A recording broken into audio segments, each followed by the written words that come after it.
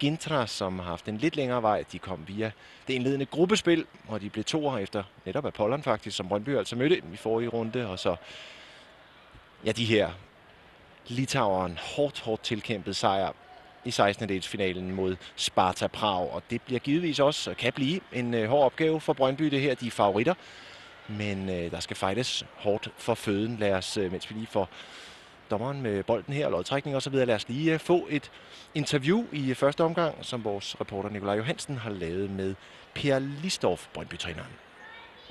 Per Listorff, så gælder det så øh, Champions League 8. delsfinalen mod øh, de litauiske mester. Hvad er det for en modstander, der, der venter jer i dag? Jamen, det er jo en ubekendt faktor i kvindefodbold.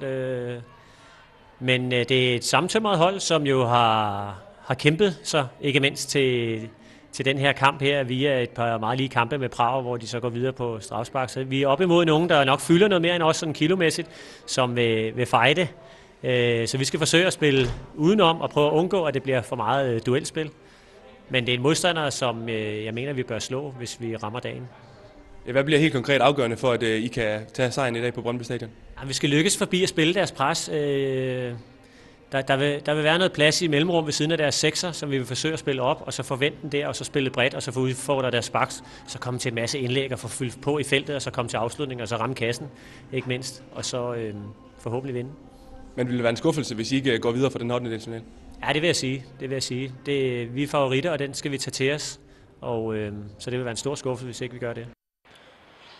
Enig i vurderingen fra Per Listorf. De er favoritter Brøndby, men de skal jo investere sådan øh, fornuftigt og dosere det, for det er en toagter det her på onsdag. Er der returkamp i øh, Litauen. Lad os kigge på, hvilke 11 Per Listorf har valgt fra start her. Vi får dem lige sådan i, i listeform, men et hold, der spiller 4-3-3, kan vi sige. Og øh, ja, i dag desværre må undvære en øh, ganske vigtig forsvarsskanse, i og med at Simone Bøje Sørensen har karantæne til kampen her, og så er der lidt ny konstellation i midterforsvaret. Man har også valgt Emma Madsen her. Man har valgt hendes fysik helt fremme i øh, frontlinjen. Brøndby det har man simpelthen i forventning om, at der ikke bliver så meget rum at løbe dybt i, og derfor har man fravalgt ellers hurtigt Amalie Testrup. Her har vi så udholdet, altså Gintra, et hold, der er, som nævnt, meget, meget suveræn i den hjemlige liga, og et hold, hvor primært keeper Ina Budosteren øh, skal stå en stor kamp igen. Hun var forrygende spillende, går meldingerne på i kampen mod øh, Sparta Prag, hvor hun virkelig tog fra. Og øh, ret utroligt faktisk, når man kigger på statistik fra kampen mod Sparta Prag, at det lykkedes for litauerne at gå videre. De tabte skudstatistikken med 40-7 i øh, kampen i Prag.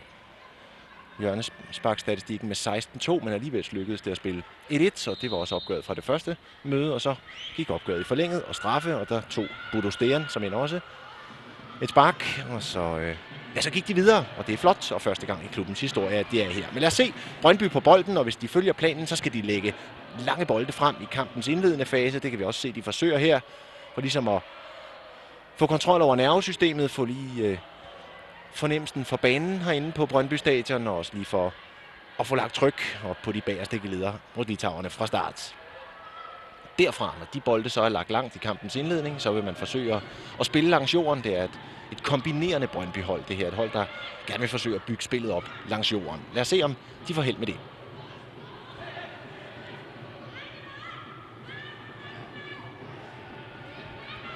Nummer 5, Louise Ringsing her. 19 landsholdsspiller, 18-årig venstreback. Nu skal de ned et frispark på Katrine Veje, nummer 11. Det blev ikke fløjtet af kampens 20 maltesiske dommer Esther Topardi, som til gengæld fløjter frispark her til gæsternes nummer 10, Alek Perova. En af profilerne på holdet. Sådan løbestærk og fysisk stærk central midtbanespiller. Men taktisk hørte vi også Per Listorff sige i interviewet lige for et øjeblik siden, at der er rum at spille på omkring den defensive midtbanespiller hos gæsterne, og det er så det, de vil forsøg, når kampen så ligesom får, får sat sig. God indgrib med Teresa Nielsen, den dynamiske, ivrige og flittige højreback. Og 17. Defensiv midtbanespiller hos Brøndby, Julia Tavlo. Louise Christiansen. Udmærket spil frem mod Shirin Lamti. En fejl her, ender bolden hos veje.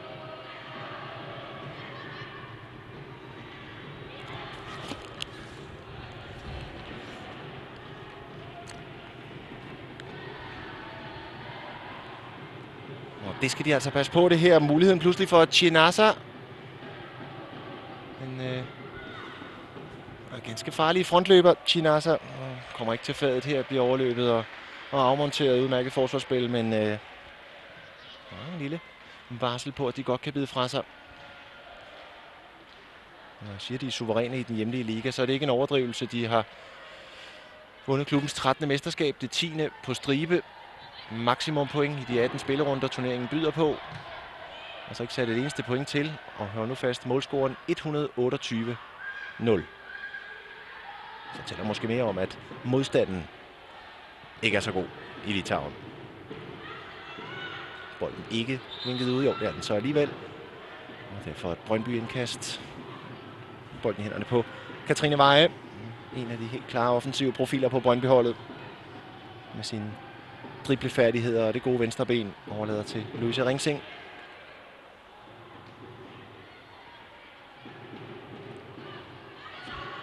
Julie Tavlo. Og igen Katrine Veje. Frispark går i ryggen på. Gæsternes nummer 16, Velic Kajte.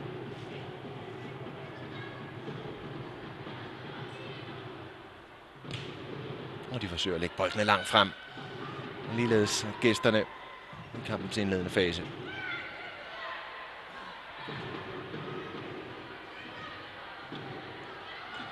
Emma Madsen netop med, fordi hun mestrer det her, kan suge boldene til sig.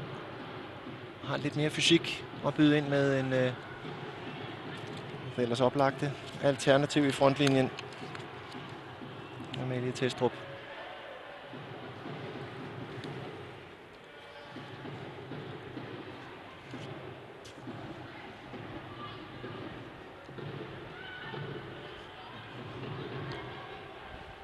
Stine Larsen, som så er inde i stedet for Simone Bøje i midterforsvaret. God dybdebold lige pludselig. Nana Christiansen, der er ikke offside, så er der muligheder på tværs faktisk for Veje, der kommer med i feltet. Det samme gør Louise Christiansen. God lille dribling af Nana Christiansen. Oha. Og så er det hjørnespark. Men øh, der er muligheder her, og vi kan se faktisk overraskende højt. De står med deres bagkæde, de litauiske gæster.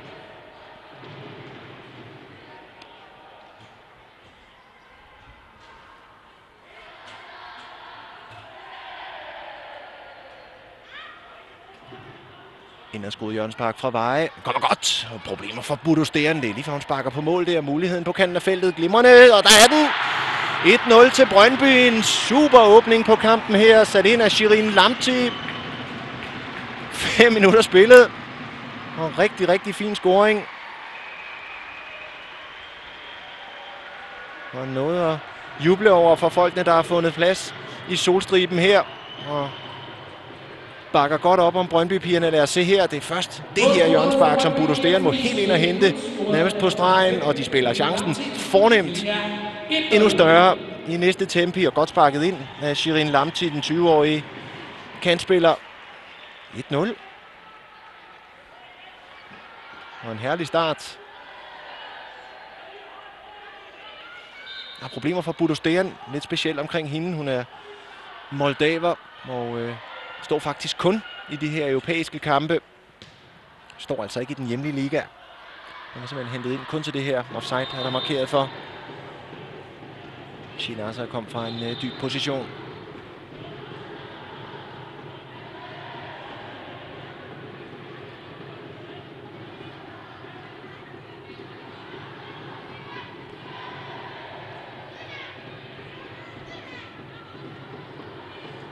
Med Jans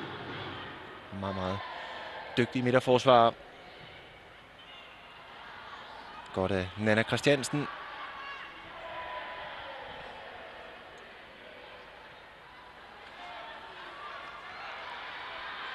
Therese Nielsen tilbage til Stine Larsen. Anfører for Danmarks U19-landshold, Stine Larsen. Hun kan bestride flere positioner på holdet. I dag midterforsvar.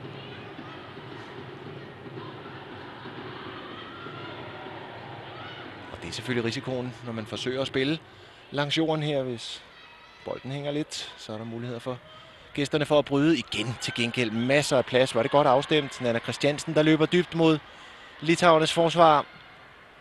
Ikke nogen med herover. Budosteren på plads. Men overraskende tror jeg egentlig også for Brøndby og træner Per Listorff, hvor meget plads der er at løbe dybt på. Det er jo nærmest en hel bane længde.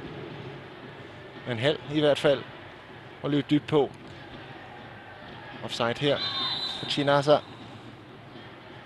Som altså også et par gange har været ved at finde plads og løbe dybt på. Så muligheder for en chancerig affære her.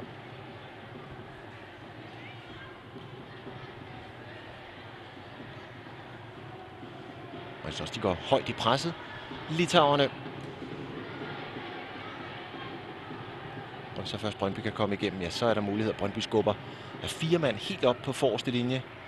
Der falder Emma Madsen ned i banen uden for billedet, og igen forsøger de at spille dybt. Det er altså glimrende spillet. Og selvom Lamti ikke helt kan komme fri af venstrebak Mikko Taite. Det var godt. Kom ud af Budosteren.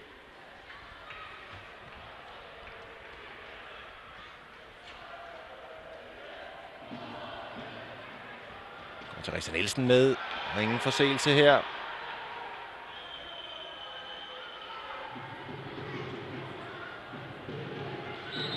Gengæld et frispark her. Ja, så er spørgsmålet, om han sidder derude. Per Lisdorf for, øh, om ikke ærger sig, men så i hvert fald fundere over muligheden for at udfordre det her bagrum endnu mere.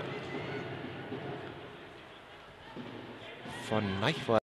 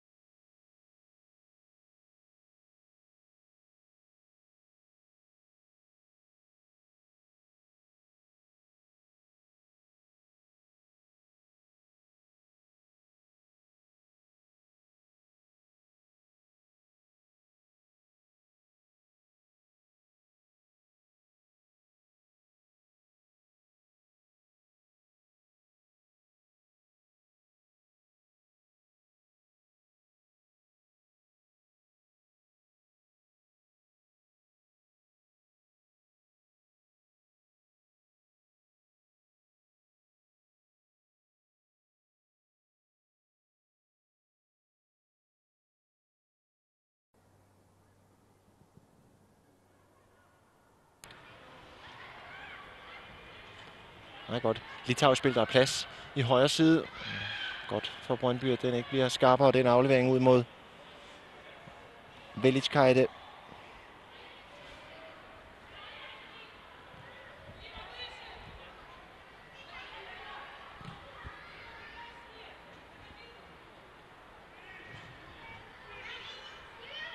Men Brøndby er altså også i forlænget spilletid i deres 16. finale mod øh, Apollon.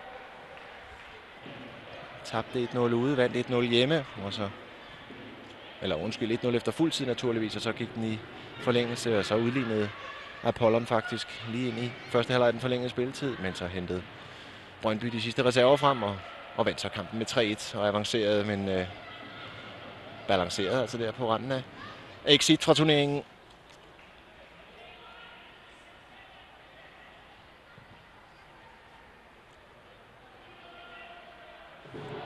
Apollon fra Limassol på Kyberen. Nu her Simone Bøje Sørensen på plads på lægterne, men øh, desværre ikke på banen. På grund af sin karantæne, som hun så sidder af her, klar til returkampen på onsdag i Litauen.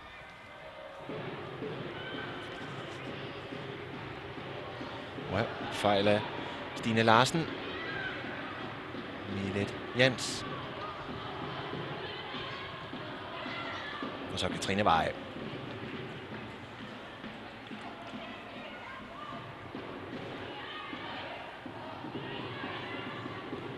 Brøndby fører aktuelt 3F-ligaen, altså kvindernes bedste række, og kører det her vanlige, i hvert fald gennem de seneste sæsoner, parløb med Fortuna Jøring, fører med to point ned til, til Jøring lige nu. Og kun lidt en enkelt pointtab i sæsonen indtil videre, videre. Det var ikke overraskende mod netop Fortuna tilbage. Den 4. oktober, hvor man spillede 1-1. Brøndby vandt for en uge siden med 2-1 over Vejle.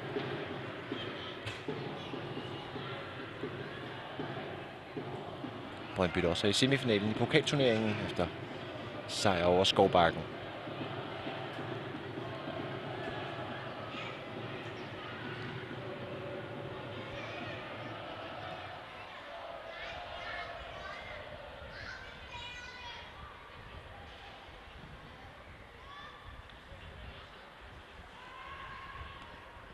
Igen Bodo Stean, der tydeligvis opererer langt ud af sit mål. Moldaviske keeper.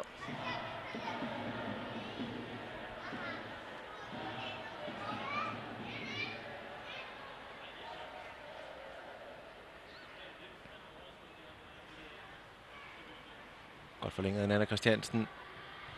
Ja, teknisk dygtige spillere, både Nana Christiansen og Louise Christiansen. De to otter, kan vi sige, de to offensiv centrale midtbanespillere hos Brøndby. Ikke voldsomt hurtige, men til gengæld teknisk dygtige, spilintelligente. Gemmerne Katrine Veje, der går ind i banen. Emma Madsen, så kan hun komme til afslutning med venstrebenet. Vælger i stedet tværaflevering. Det er godt Brøndby-spil. Og kun en kæmpe redning fra Budo Stean holder Nana Christiansen for scoring her. De fås simpelthen ikke større. Punktum.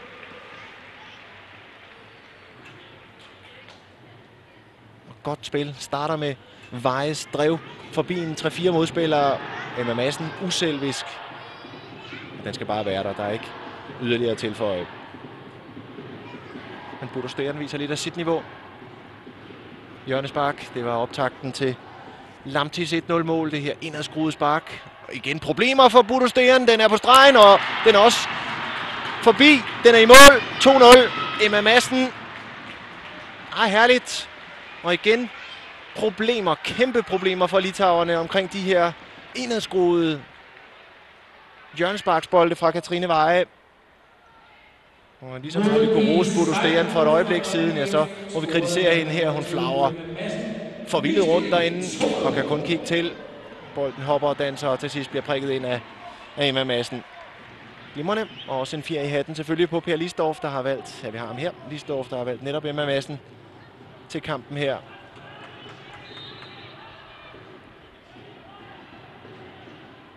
Ja, ja. 16 minutter spillet og 2-0. Hvad skal det ikke blive til det her? Julia Tavlo. Igen der plads i dybden. Therese Nielsen er stukket afsted. Det er godt spillet af Lamti Therese Nielsen.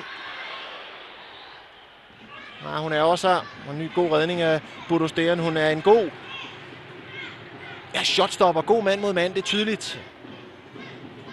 Har haft store problemer på hjørnesparkene. Men igen, har vi må sige, håbløst afstemt forsvarsspil. De står højt, uden overhovedet pres på boldholder Lamti, der så fuldstændig ugeneret kan spille Therese Nielsen i dybden. Der er så mange muligheder for Brøndby lige præcis i den del her. Ny Jørgens variant. Ender helt over hos Louise Christiansen. En godt lagt retur. Og en ny pæn mulighed.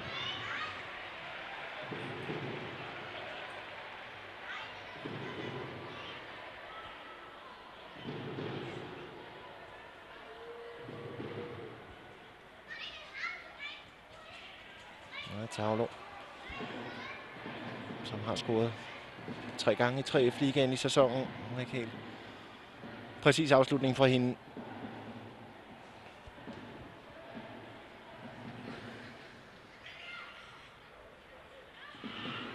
Veje.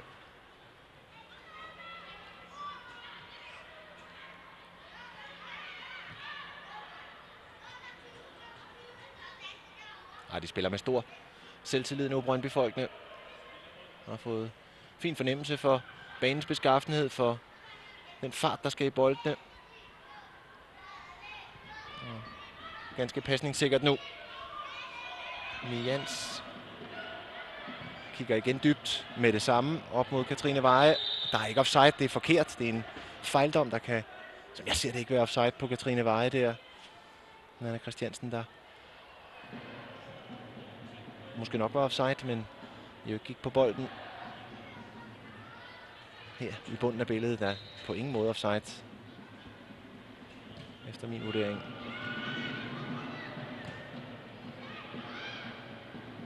Og ikke meget at lave for keeper Katrine Abel de første 18,5 minut her. Gæsterne endnu ikke noteret for nogen som helst farligheder.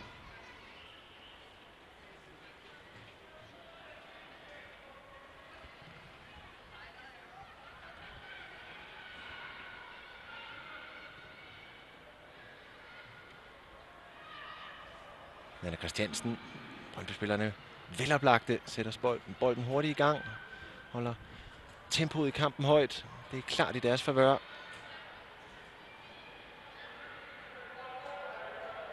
Therese Nielsen igen her flytter bolden på første berøring.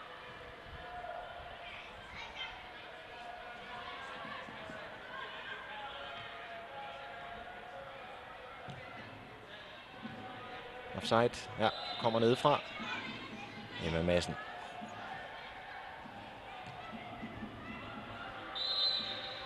Og igen offside, der er hun altså noget udisciplineret.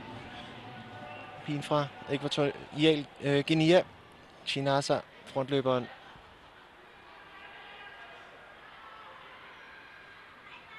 God træk af Nana Christiansen ind mod Emma Madsen. Der kommer til bolden her. Godt lavet af Emma Madsen. Det er godt, det er smart, det er flot, der er mål. 3-0. 20 minutter spillet. Det lugter en afklapsning. Mm, som om hun ikke får klokkeren træf på den, Emma Madsen, men alligevel går den i en bue ind over Budo Stean.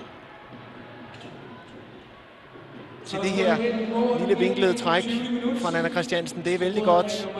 Hun har skidt forsvarsspil nok gang. Og se her, hun får ikke vanvittigt godt træf på den, men træffet er godt, når den går i mål. Så kredit til Emma Madsen. Dobbelt op for hende og 3-0 til Brøndby.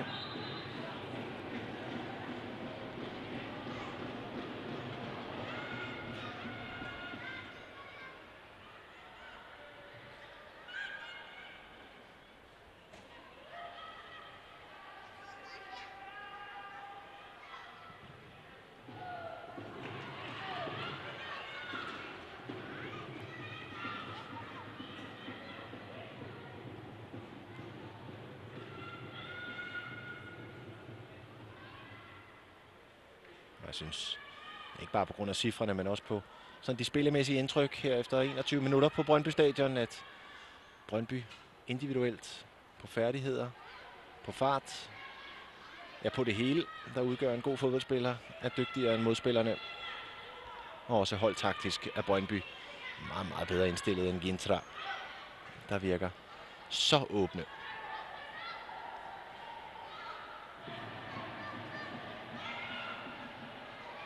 Ja, reddet en blindgyde der med Lichkajde. Nana Christiansen, som ja, gør, hvad der passer ind. Teknisk dygtig Nana Christiansen.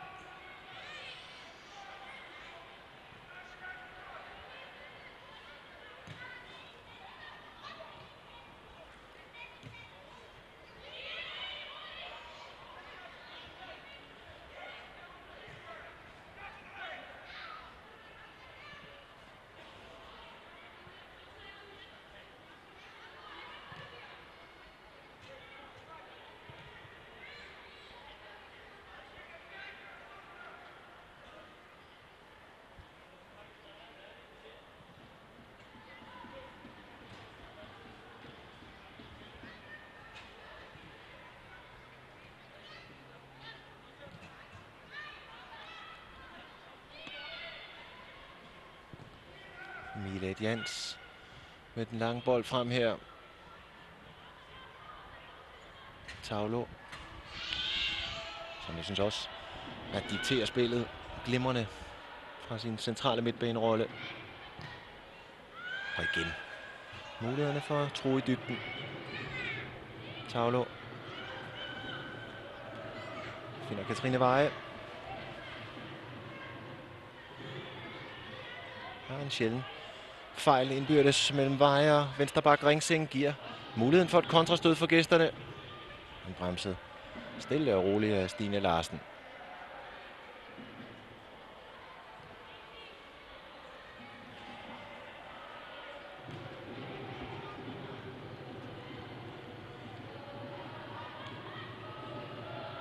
Ja, hvis de spiller klogt her, Brøndby.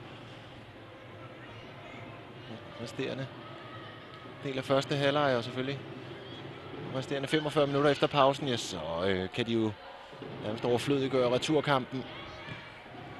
Eliminere enhver forhåbning, der må være i kroppen på litauerne om avancement. Litauisk frispark begår Julia Tavlo i hvert fald ifølge den maltesiske dommer.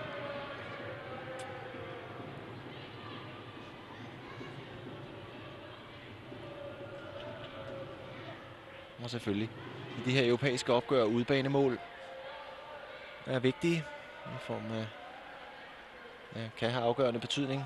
Reglen om udbanemål tæller. Naturligvis også her. Så de vil være ærgerlige at give væk. Og selvom det som det ser ud nu, ikke overhovedet ligner, at det kommer dertil. Det er langt udefra. Katrine Abel, ikke desto mindre en tremandsmur.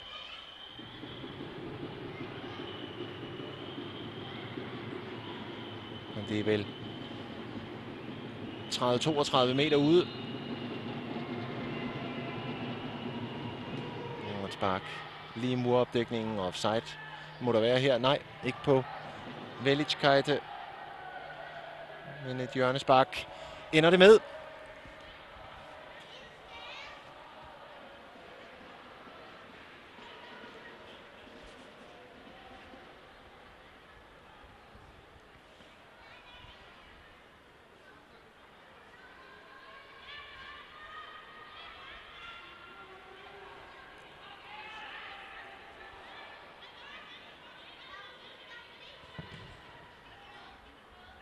Indad skruet godt hættet væk af Tavlo i første omgang.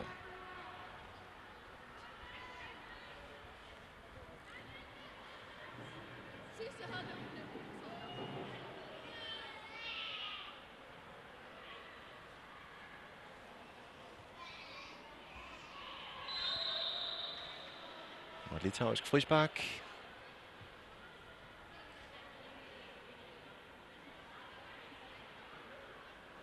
Og her til Louise Christiansen for det.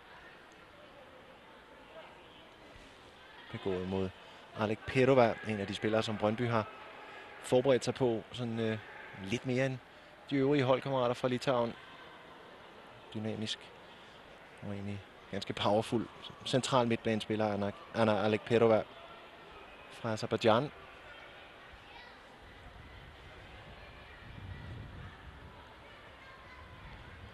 Og lidt overraskende. Tomands mur. Trods den øh, meget spidse vinkel, Alec Petova her. Sparker den ind mod det forreste rum.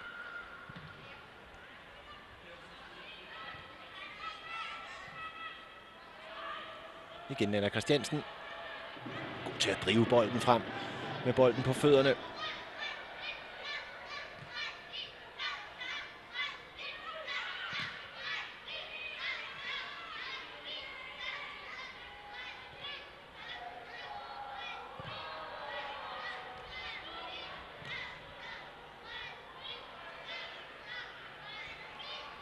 Stine Larsen, Therese Nielsen og og Brøndby har kampen fuldstændig, hvor de vil have den, ikke kun på måltavlen, men også sådan som spillet former sig. Så er det Stine Larsen, der løber dybt helt fra sin position som midterforsvarer.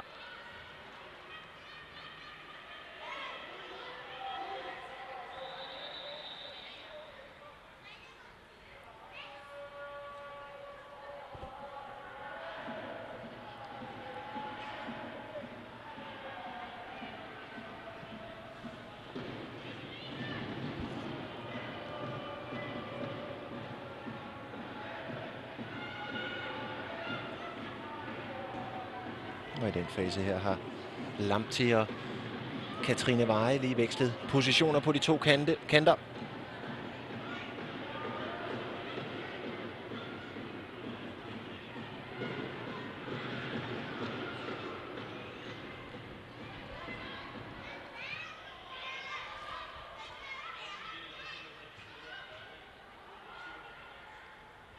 Tavlo og dribler lidt i en blindgyde der.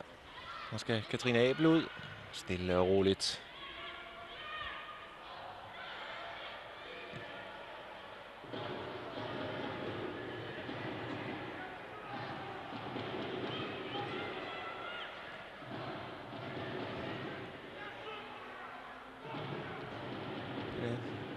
Rygtet gik på et fighterstærkt, løbevilligt, fysisk fint hold fra Gintra Universitetas.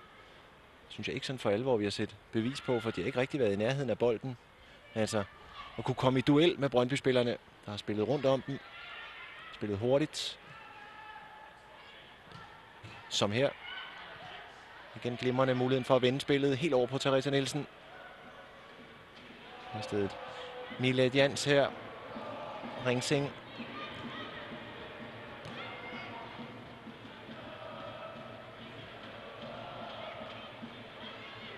Ej, de spiller fint Brøndby. Tålmodigt. Sætter mange afleveringer på her. Stine Larsen.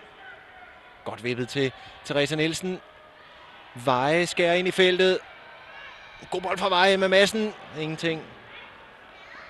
Meget, meget fint angreb. Nu sad jeg ikke lige og talt med, men 18-20 afleveringer i den spilsekvens her, inden det så blev til en ja, relativt lovende mulighed for Emma Madsen.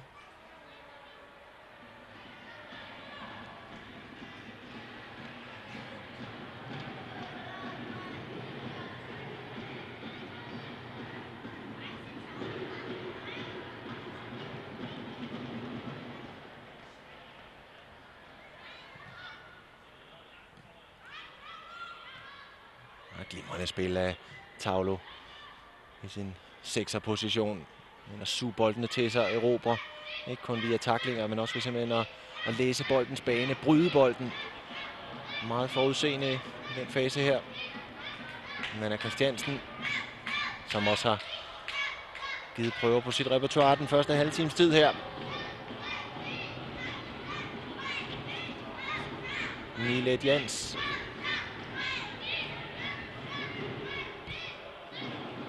Offside.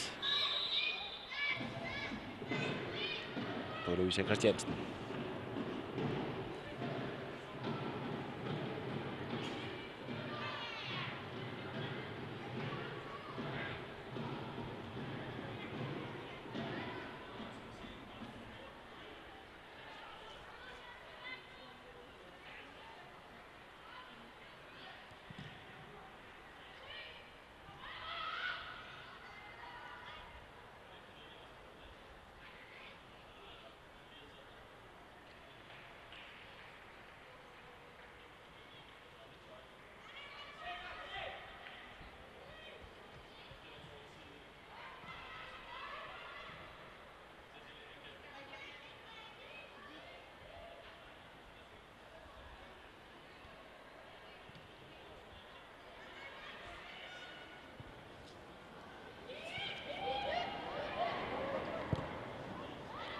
Emma Madsen, fuldstændig ugeneret, kan hun falde ned i banen og agere opspilspunkt. Veje tilbage på venstre kanten, går forbi og til baglinjen her. Godt indlæg fra Katrine Veje. Muligheden for at samle op her for Louise Christiansen. Oh, og lidt bøvlet spark for Budo Stean. Hammer. Græsset foran hende.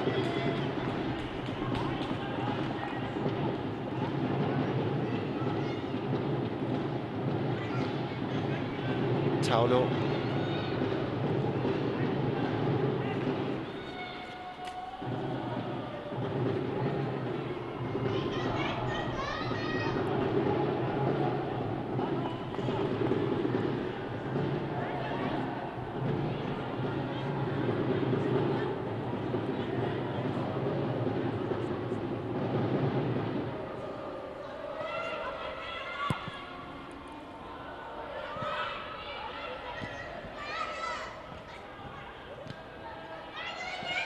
her. Det er rigtig flot spil.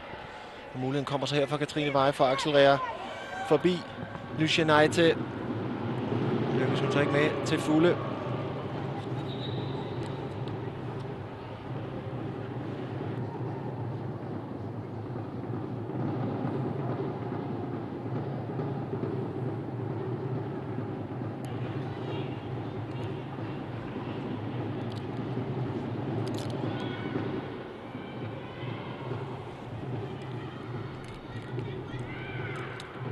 Anna Christiansen.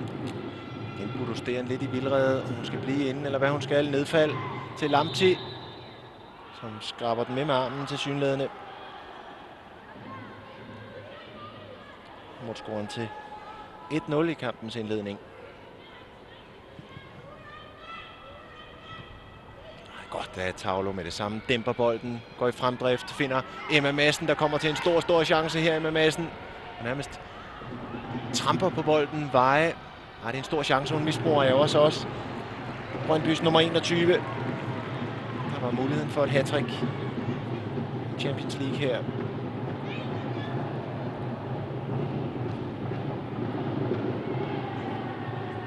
Lad os lige se, hvad der sker. Hun er jo hun er faktisk fri. Der får så bolden retur fra Budo Stean. Prikker den. Faktisk en god redning af Budo Stean igen, der er skarp i mand mod mand duellerne. Jørgen Spark ind og skruet fra Nana Christiansen. Bodo Steren har til gengæld er ikke haft styr på et eneste af Brøndbys Jørgen der er hældt ind i feltet.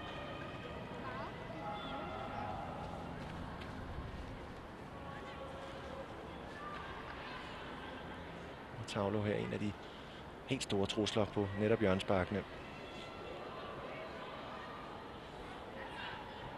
tidligere offensiv spiller. Opererer jeg har været inde på et par gange nu på, på sekserpositionen, den defensive midtbane, men er tidligere offensivspiller og har derfor sans for og timing i orden omkring de offensive løb. Udmærket bold ud mod Velic Og der skal Abel ud, og det kommer også Katrine Abel. Første gang de egentlig viser tegn på farlighed, og der kommer flere spillere med i det etablerede spil.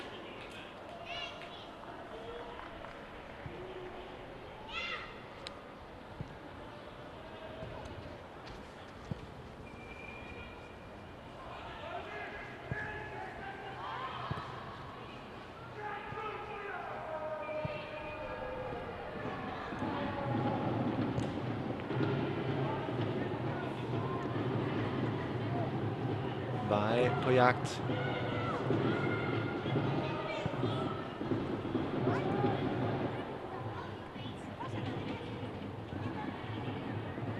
God indgriben Tavlo, der er på forkant med situationen, har øjnet, at hun kan bryde boldens bane. Anna Christiansen. Stine Larsen. Teresa Nielsen. Fire Brøndby-spillere i feltet. Fint indlæg fra Teresa Nielsen. Veje overlægger. Nyt godt Brøndby-angreb. Lamti. Gentheresa Nielsen. Nu er der fem gulblusede i feltet. Emma Madsen lægger tryk på.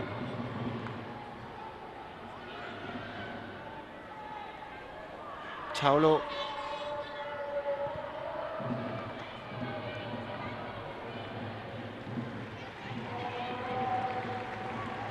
Og se igen her, meget, meget fint indlæg over i det bagerste område, og han kontrollerede afslutning fra Katrine Veje. Jeg synes, der er fint med kvalitet på den. Og den er markeret ude, og derfor et Brøndby hjørnespark. Og dem kan hun ikke lide. Budosteren. Og derfor kan jeg ikke se grund til noget som helst andet end at, at høvle bolden ind i feltet sådan det primitivt formuleret. Ind og lægge tryk. Emma Madsen også ind og generer Bodo Stæren. Tavlo med. Stine Larsen. Milet Jans med. Bodo Stæren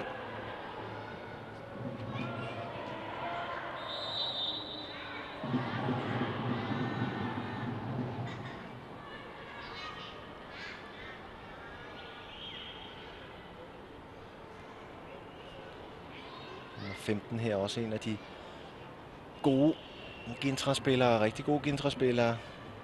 Imana Leva scorede målet mod øh, Sparta Prag til 1-1 i den anden kamp, og scorede også på det afgørende straffespark i straffesparkskonkurrencen. Så en øh, afgørende spiller der. I virkeligheden overstrålet af keeper Bodo Stegen, der leverede mirakler i den kamp.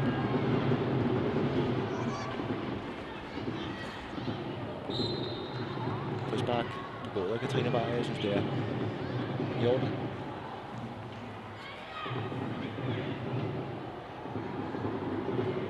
Sparkes af Alek Perova. Abel bliver på sin målstreg. Har godt kæmpet af Lamti. Nana Christiansen. Lamti kan ikke løbe den op.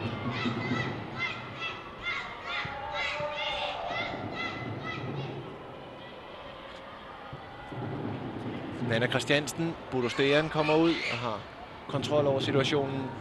Har sådan lige lidt stillstand de seneste 10-12 minutter i forhold til Brøndbys muligheder med de her dybe løb.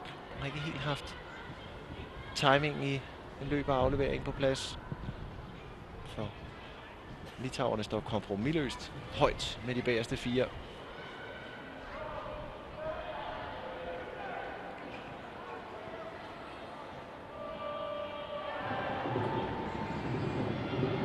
Frisbak begået af Therese Nielsen, der lige går i ryggen på sin modspiller der.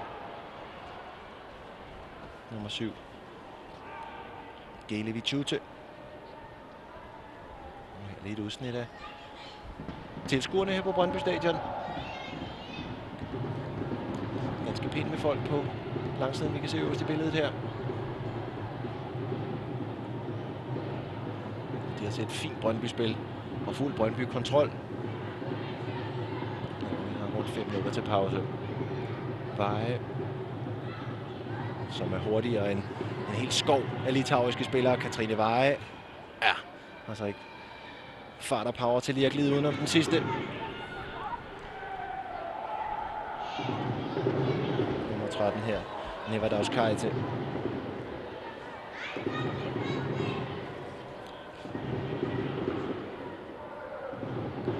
Christiansen. Virkelig vi gøre. Katrine Veje. Pæn chance også faktisk. Tæt under mål. Therese Nielsen. Ja, behjertet afslutning fra distancen fra Therese Nielsen. Brøndby-kaptajnen. Som også er en fast bestanddel af det danske landshold.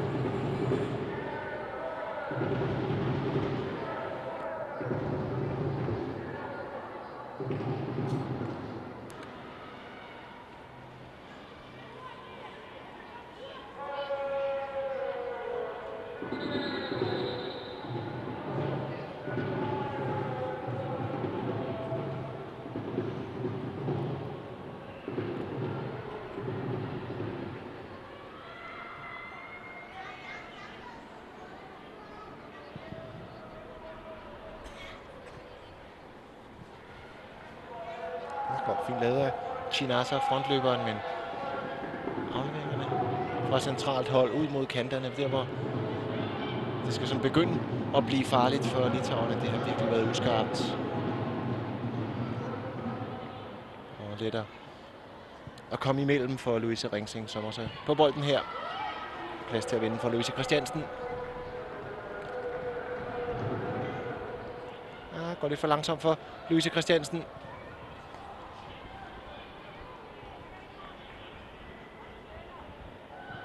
Stine Larsen. Ja, tanken var meget god. Få Teresa Nielsen på nyt togt.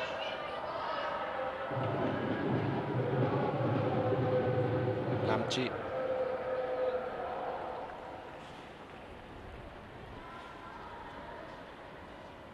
Har hurtigt taget indkast. Lamchi kommer meget fri her. Oha, Bodosteren lægger den lige ud i farzonen.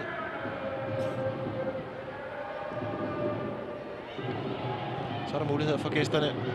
Igen ros til Katrine Abel for at være vågen. Og selvom hun ikke har meget at lave, påpasselig og godt positioneret.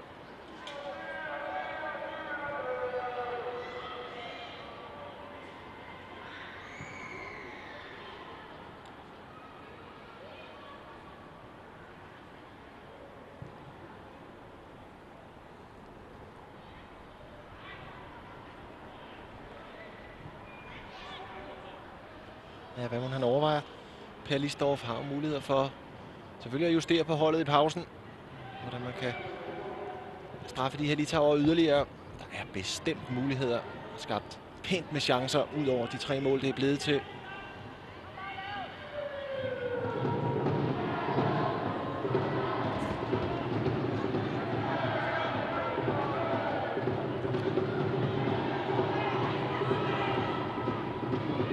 En Tavlo, der bryder. Nana Christiansen. Lamti, Nana Christiansen, masser af plads omkring sig. Og der bliver appelleret for offside. Næste medspiller står altså 20 meter længere tilbage. Tavlo. Nana Christiansen, Emma Madsen lurer bagerst i feltet og kommer slet ikke derind.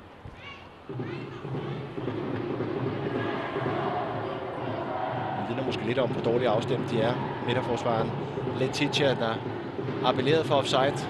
Og selvom der var, ja, som jeg sagde før, 20 meter ned til den holdkammerat, der egentlig lå bagerst i forsvarslinjen.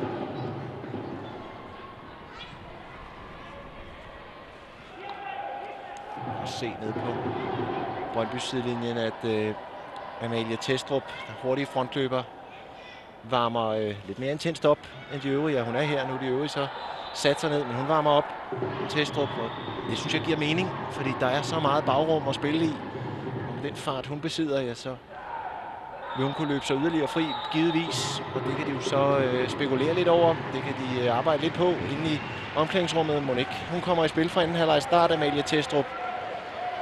Og i hvert fald pause på Brøndby Stadion. Brøndby solidt i front mod Gistra Universitetas. To mål af Emma Madsen her, og et enkelt af Shirin Lamti åbnede ballet, og så altså 2-0 og 3-0 ved Emma Madsen. Brøndby i fuld kontrol.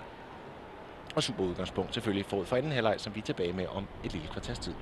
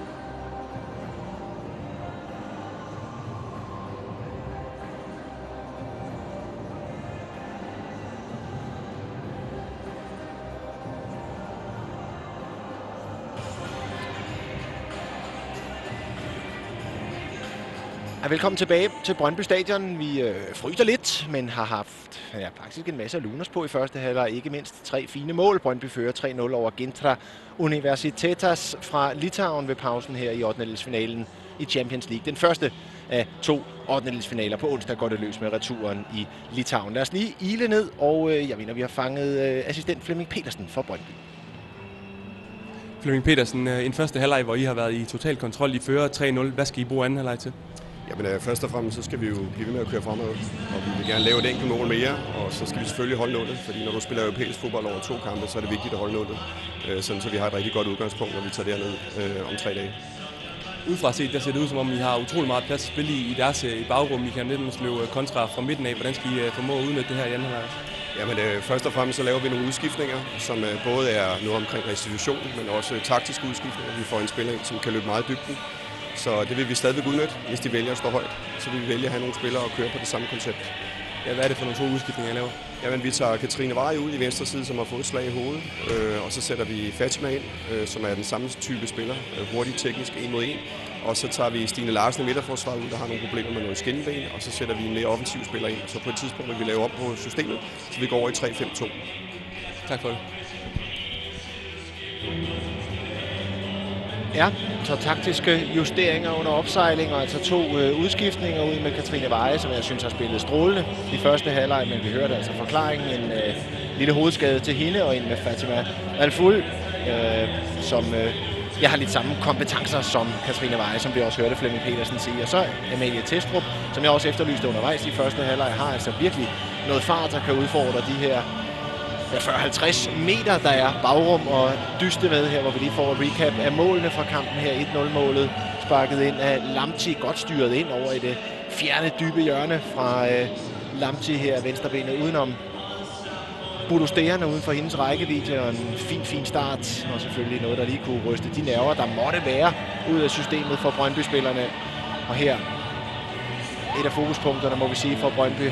Dødbolde virkelig kunne true Budosterende her er hun fuldstændig prisgivet, den moldaviske keeper, og det ender med, at Emma Madsen fra Klodshold kan prikke den ind til 2-0, og så her ud at løbe med et dårligt orkestreret forsvar fra Gintra, sat op af Nana Christiansen, og så Emma Madsen igen. Ja, og hun kommer sådan ind under bolden.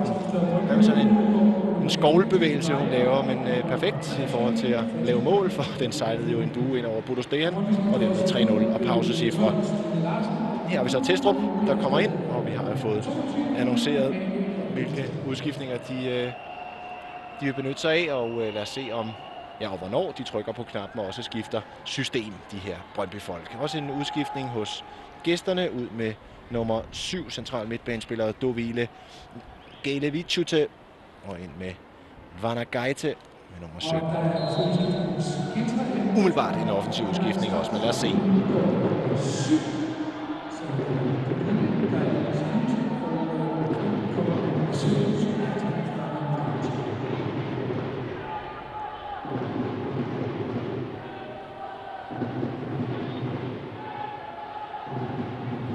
Nana Christiansen. Og et enkelt mål mere vil de gerne lave Brøndby. Jeg synes jo, der ligger mulighed for at lave flere, men lad os nu se. 4-0 vil jo være er nærmest ens betydende med, at man annullerer kampen på onsdag. Sådan i sportslig forstand, for jeg kan ikke se det her litauiske hold på nogen måde lave fire mål mod Brøndby, uden at der bliver scoret modsat også.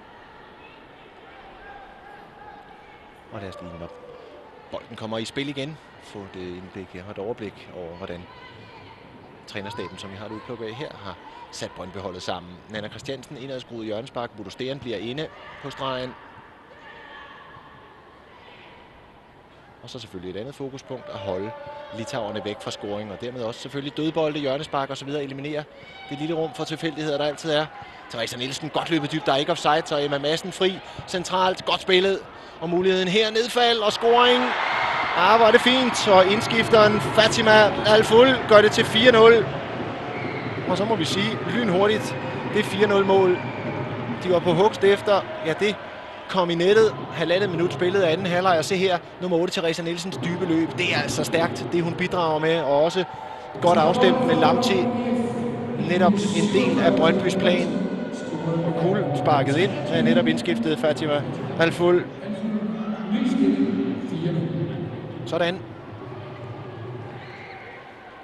Men herlig at se, når de ting, der bliver snakket om, og også bliver ridset op over for os, der skal dække kampen for træner Per Listorff. Ja, de bliver efterlevet. Netop Lamti, der skal operere inde i banen, og Teresa Nielsen, der skal løbe dybt rundt om hende. Højre bakken og i bevægelse nærmest konstant i sådan en fodboldkamp her. Vi har set mange eksempler i første halvleg her. Kastede det helt kontant et mål af sig. Fremragende.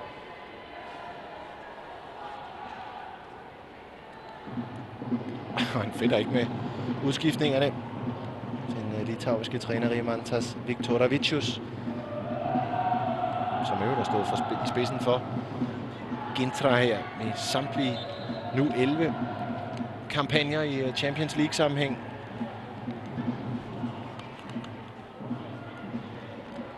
Flot i sig selv, at de er nået hertil, som jeg var inde på i kampens indledning. Første gang i klubbens historie, at de er nået helt til 8. finalen. Udskiftning.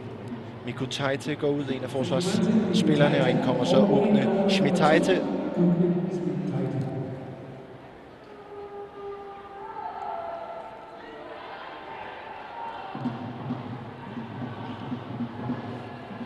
Men de har ramt sådan en lille fodboldmirakel. Det her Gintra-mandskab ved at slå Sparta Prag ud for en skudstatistik, der var så vanvittig massiv i øh, tjekkernes favør. Mirakler på stregen af Budostean, og så et enkelt mål den anden vej, og så kæmpe den hjem til straffesparkskonkurrence. Det er jo det, det er en svær bedrift at kopiere. Klasseforskellen her på Brøndby Stadion er udtalt i hvert fald.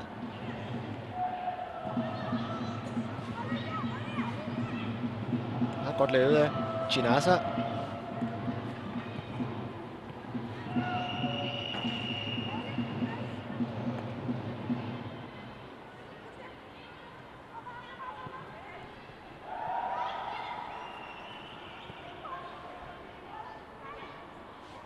Ja, fint af Nummer 8, Bodrite. Og det ender med et målspark.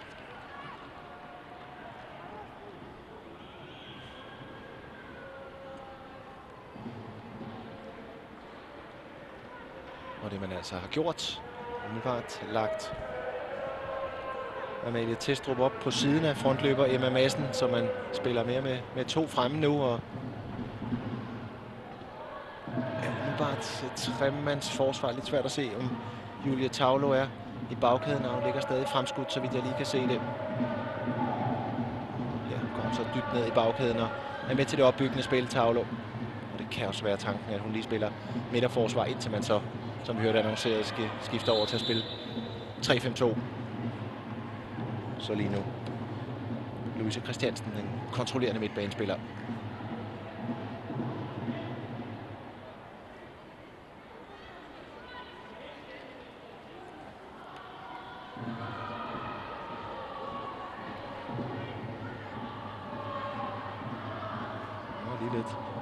For Shirin Lamti.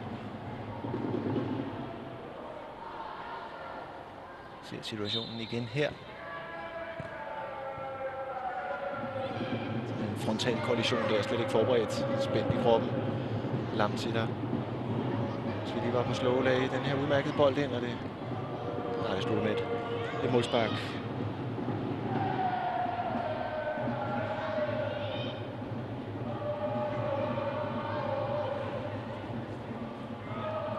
Planen har virket fint for Per Listorff, og selvom jeg egentlig tror, han er, han er overrasket over, at det er i bagrum. Der var så mange muligheder, og ikke, som han ellers havde annonceret, i mellemrum, altså i rum, sat på siden af den defensive midtbanespiller for gæsterne.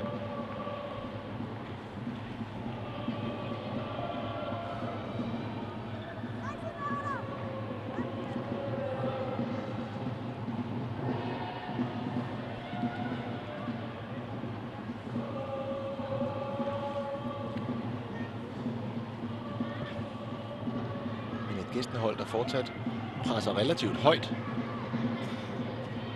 Og så er der altså motorvej at løbe ned i her. Lidt bedre Letitia, der falder et par meter tilbage og bryder bolden.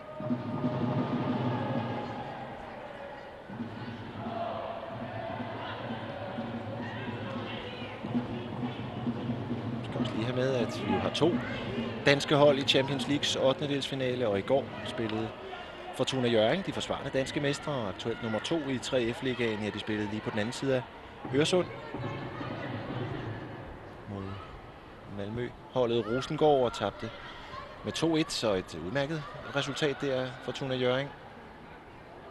Offside, synes jeg, ja. Også vinket, men ikke fløjtet. Spillet får lov at køre videre. Budo på bolden. Men altså Fortuna Jøring skal spille returkamp med de her 2-1-cifre i ryggen og vigtige udebanemål der. Anna Christiansen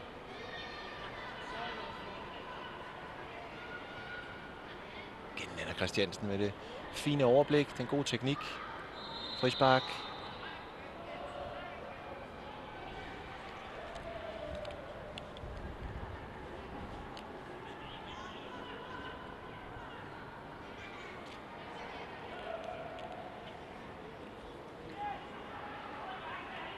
Jo fint, og et privilegium for Brøndby og for trænerstaben at kunne skifte lidt ud, dosere lidt på kræfterne. Også Stine Larsen, som man altså har taget ud i pausen. Lidt skadesproblemer op til kampen.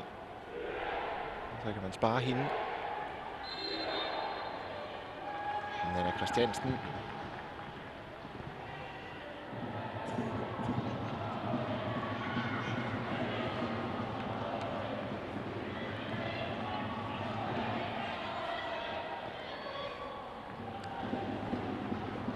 Perova.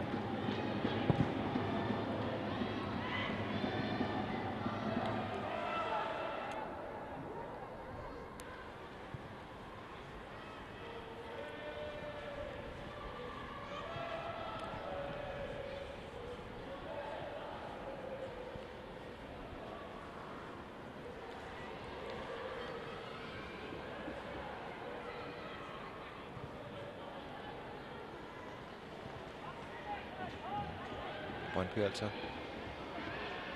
på stensikker kvartfinalekurs i turneringen her. Og øh, det vil faktisk ikke være det bedste Brøndby har været i turneringen i klubbens historie. Her skal vi følge Emma Madsen til dørs. Godt lille træk af Emma Madsen. Og fint overblik. til Risse Nielsen har bolden nok hele vejen over til højre bakken. Nana Christiansen og frispark. Brøndby har faktisk to gange været i semifinalen i Champions League. Begge gange med negativt udfald tilbage i 2003-2004 røg man ud til Umeå, svenskerne, og i 06-07 sæsonen ud til engelske Arsenal. Sidste år røg Brøndby ud i øh, 16. delsfinalen til Barcelona. Ellers tætte kampe 0-0 ude, og så 2-2 i Brøndby røg ud på ren og udebanemål der.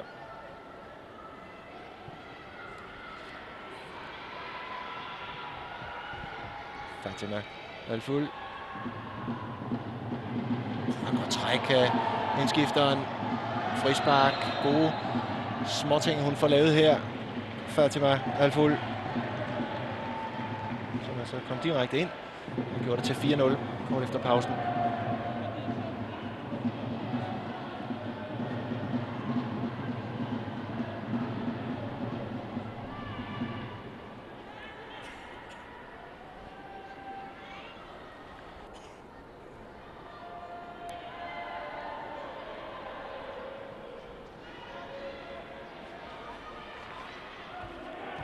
Igen Anna Christiansen.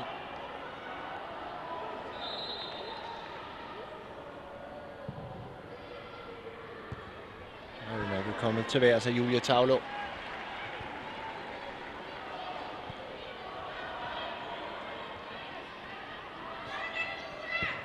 det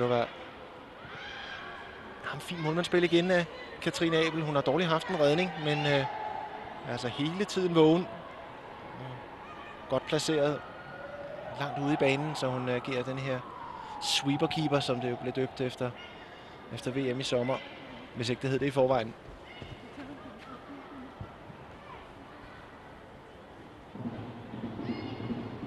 Men godt af Therese Nielsen. Så tæt på, at Amalie Testrup kunne komme på bolden sådan første gang for alvor.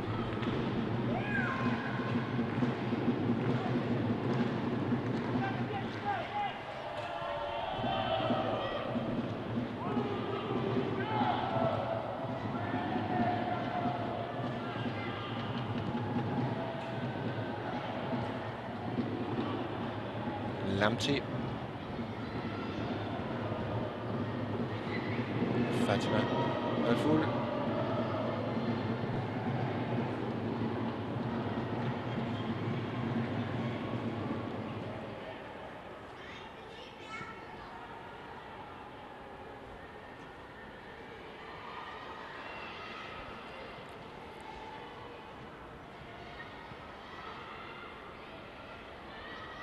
Nana Christiansen.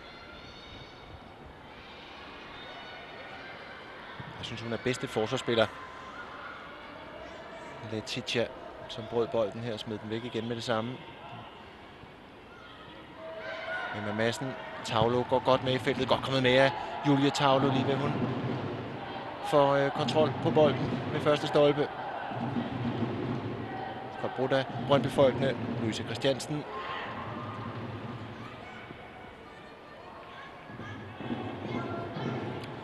kan lidt bagvendt sige, at jo længere de kommer væk og spille, og jo længere de trækker Litauernes forsvarslinje væk fra eget mål, jo bedre øh, arbejdsvilkår får indskiftet 19-årige Amalie Testrup.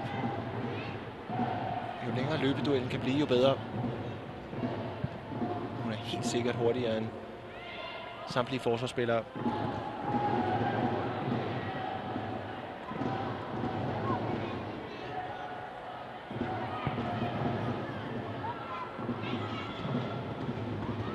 køligt spillet ud af Abel. Det er en målmand med is i maven. Nana Christiansen kan så godt lide det her Brøndby-spil op. Mellemrum og med mod og evner til at spille sig fri. Det er fremragende det her. Fatima Alful Og herinde Testrup. Ellers et super angreb. Startet helt nede fra keeper Abel.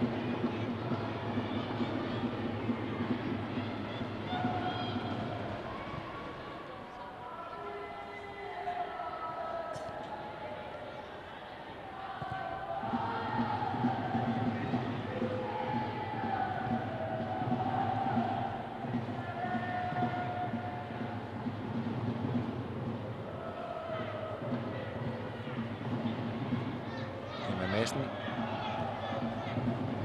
Ikke offside på Testrup.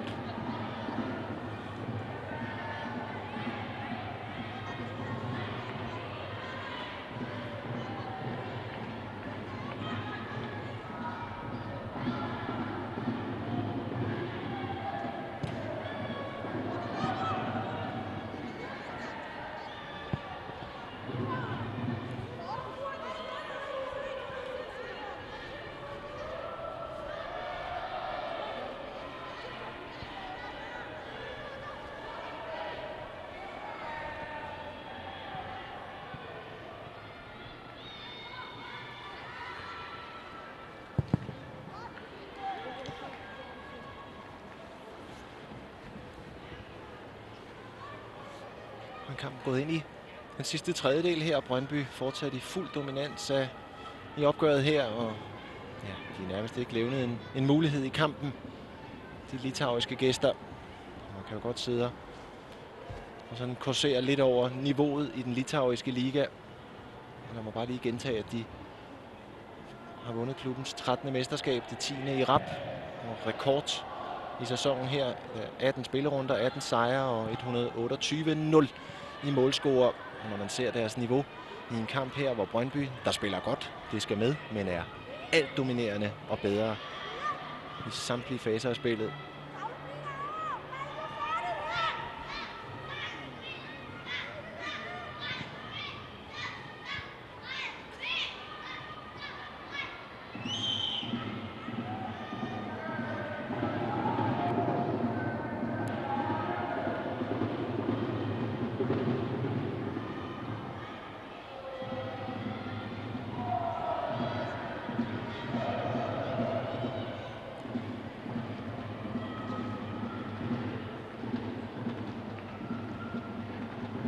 Men umiddelbart ikke helt samme struktur på Brøndby spil som i første halvleg. Jeg ved ikke om en, en årsag til det skal findes, at man har rykket Julia Tavlo lidt længere baglæns, altså ned i bagkæden. Og dermed ikke har hendes evner til ligesom at, at fordele spillet. Tage ved spillet centralt.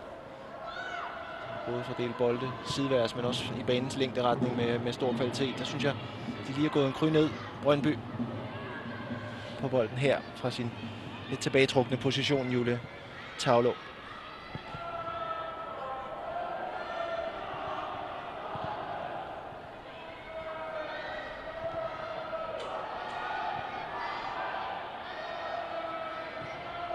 Her er der så mulighed for at få løbet med øh, det litauiske forsvar. Og slap tilbagelægning her. Fatima Alful er på bolden. Hun burde Letitia. Emma Madsen, som jeg synes har spillet en rigtig fin kamp.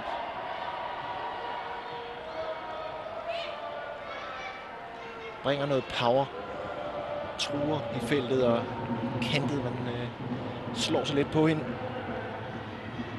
Og så er hun god til at komme ned mod bolden og, og byde sig til. Ja, så smider hun den så væk. Jeg skal aldrig dele den slags roser ud. Det er sådan en kommentatorforbandelse, men øh, er så god til at tilbyde sig i spillet. Testrup, som endnu ikke er kommet til sin ret overhovedet siden indskiftningen med pausetid.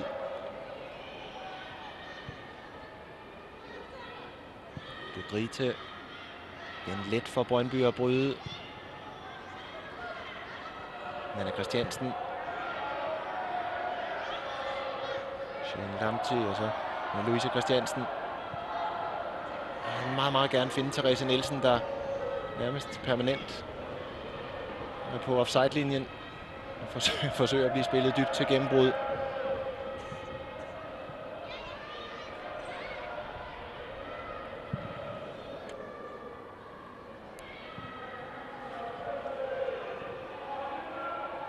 Så er der en sjælden mulighed for gæsterne. Jans i duellen her, suveræn forsvarsspiller Milet Jans. Og i duellen med indskiftet Vanna Geite.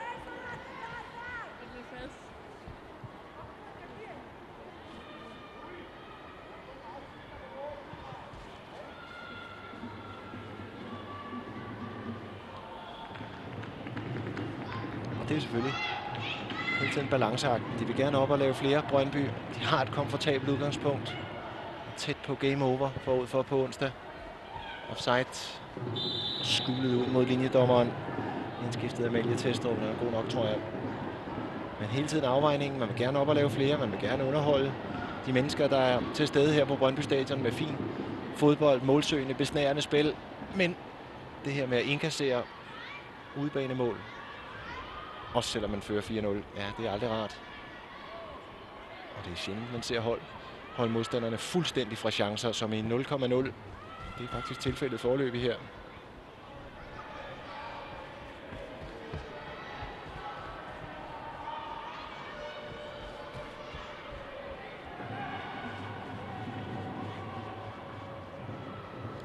Også fordi, at Brøndby har domineret bolden så massivt, så man simpelthen ikke har, har bragt sig selv ned omkring eget straffesparksfelt. Givet hjørnspark, frispark væk, hvor tilfældighederne kan råde.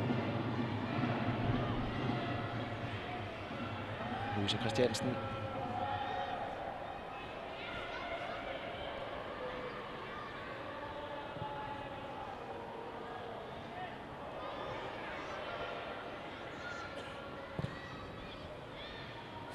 Fin til Teresa Nielsen. Her får igen lidt for meget. En lille smule indsidigt i øjeblikket med de her dybe bolde. Fem spillere, der faktisk lægger sig helt op på. Ja, eller lige omkring offside-linjen. Og vil have boldene stukket dybt. En lille smule større fleksibilitet i første halvleg. Lidt flere linjer at spille på. Emma Madsen, der faldt ned. Nana Christiansen, der fandt nogle gode mellemrum. Louise Christiansen det samme. En lille smule mere. Lidt lettere at dæmme op for, for litauerne.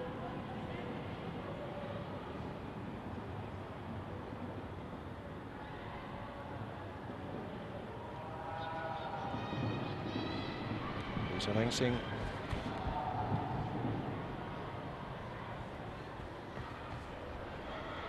Nana Christiansen, som jeg synes har været bedste Brøndby-spiller indtil videre. Her tilkæmper hun sig et, et nyt hjørnespark. Hun har mange gode idéer. Har en kælen boldbehandling. godt blik for spillet også, for at sætte holdkammeraterne i rigtig gode positioner. Og her kan de, hvis de er hurtige her, komme to mod en med masser af plads omkring sig. Nana Christiansen og Lamti. Det er i stedet for en øh, bold tilbage til Therese Nielsen, der kommer på fuldstændig frit skudhold her. Blokeres i første omgang.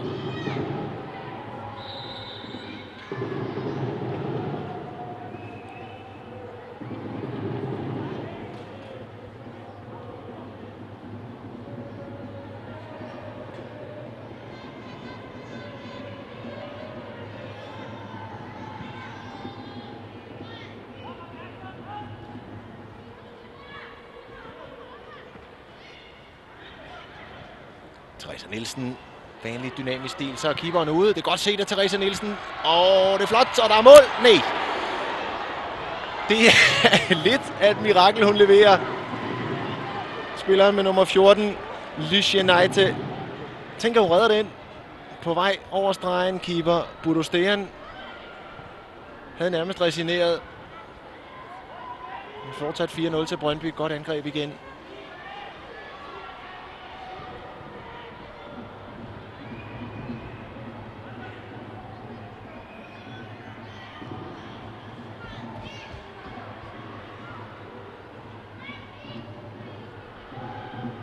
Godt kommet ud af Abel. Ja, hun i to omgange.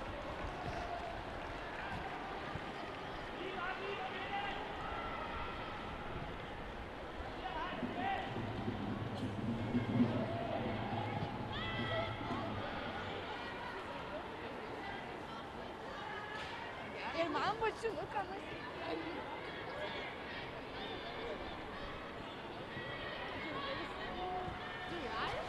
Nej.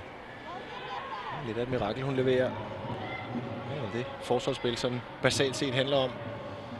Og holde bolden væk fra, væk fra målet.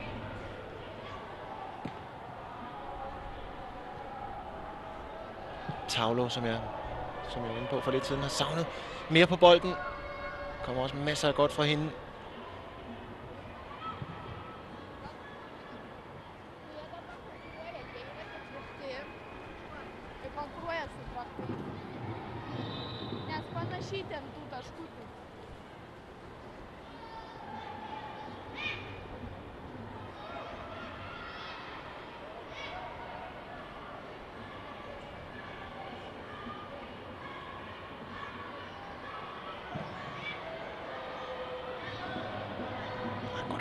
Fysisk arbejde af Mi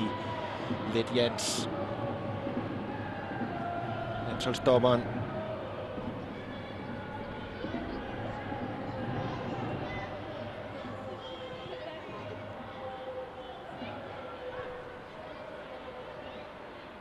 Og igen sådan lidt overvejelser på Brøndby-bænken om at ændre kampbilledet en smule. Kreer ikke så mange chancer, selvom man er i fuld kontrol. Kreer ikke helt så mange chancer, som man gjorde i første halvleg. Teresa Nielsen. Lamti. Igen Teresa Nielsen. Ja, den får hun så skrabet ud af spil.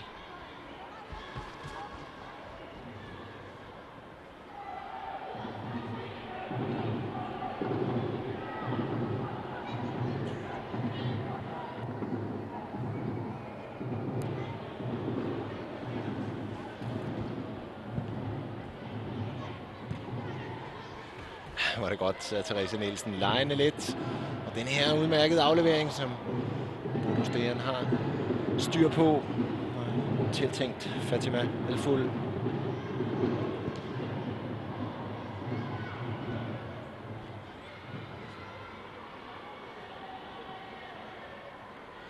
Så det løsnede en lille smule for Litauerne. Lidt bedre plads til dem. Budrite sparker på mål og sparker over med deres første sådan afslutningen, som jeg lige kalder det. Som jeg lige kalder frem fra hukommelsen. Første gang. En passage egentlig, hvor det et par gange er løsnet lidt centralt, hvor de kunne komme i løb ned mod Brøndbys bagkæde.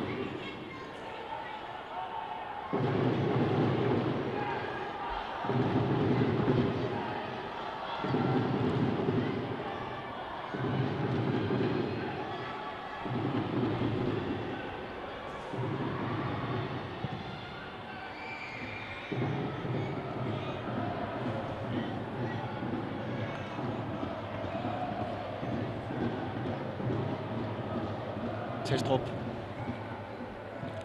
arbejder men får intet ud af anstrengelserne. Chinasa. Så man har rykket en lille smule længere tilbage i banen. Her i anden halvleg. For de tager det side og bragt forsøgt at bringe hende en lille smule mere på bolden.